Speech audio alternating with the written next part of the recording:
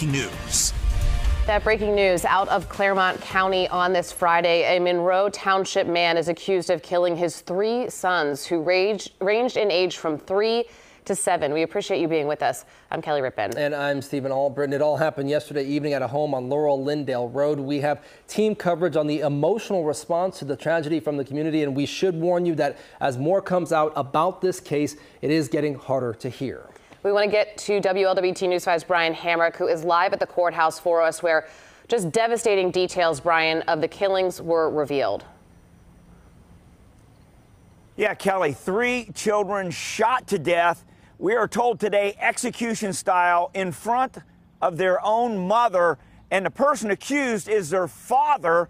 Prosecutors used words like monstrous, unspeakable, to try and describe this crime. Uh, they say they couldn't name a person who was more dangerous to the community than this defendant. The defendant is Chad Doerman. He faced a judge and the reality of his crimes today as an arraignment on aggravated murder charges today. He appeared emotional for the entire hearing. He was dressed in a bulletproof vest. Doerman is accused of executing his children, ages three, four, and seven. Prosecutors say they have a full confession from Doerman. We also learned this. Prosecutors claim this wasn't a haphazard act, but that the murders had been planned. The children's mother was shot in the hand in the course of the murders as the children were apparently shot right in front of her. Prosecutors are saying this is the most heinous crime they have ever seen and described what happened. But the evil horror of what we know is impossible to process. In an act of just incomprehensible cruelty, the father that stands before you lined up his three young boys and he executed them in his own home with a rifle. They were ages three, four, and seven, Judge. In an act of desperation to save her children, the mother at some point grabbed the gun that father was wielding attempt to protect them.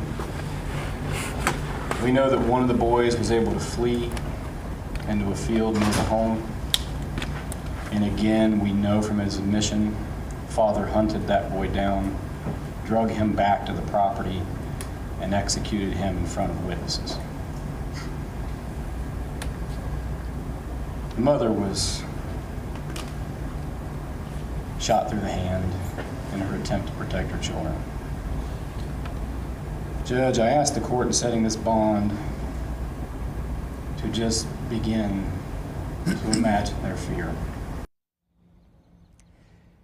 Yeah, now the defense asked for a $75,000 bond, citing that he was employed, 32 years old, and he had co-signers, and they also said that he was married using that as one of the reasons why he should get bond. Meanwhile, the prosecutors asked for the highest bond they say they have ever asked for in a case $20 million.